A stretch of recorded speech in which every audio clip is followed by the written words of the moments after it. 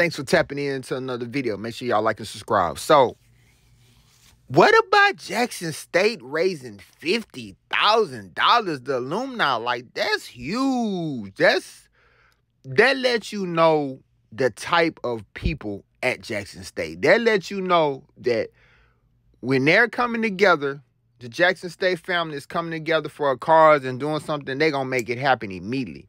Because this 50K was raised in literally no time. This 50K raised. And that's just letting you know, even without the last regime, Jackson State has been Jackson State before, you know, those guys was there that kind of made Jackson State just pop and just known to the world. Jackson State has been holding it down for a long time because their fan base, their alumni is is top notch. In my opinion, the best in HBCU football, and it's not even much close in HBCU athletics.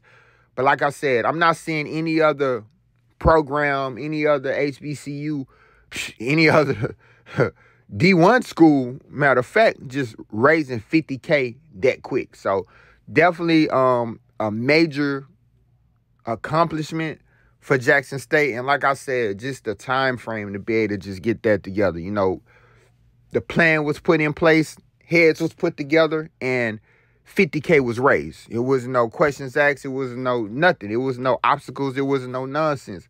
50K needed to be raised. Got 50K was got. So that's huge in my.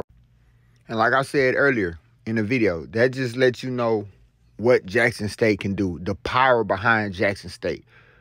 Pretty much, in my opinion, the best HBCU in football, and it's not even much close. So, shouts out to them. But y'all let me know what y'all think about this in the comment section. Once again, make sure y'all like the video and subscribe to the channel.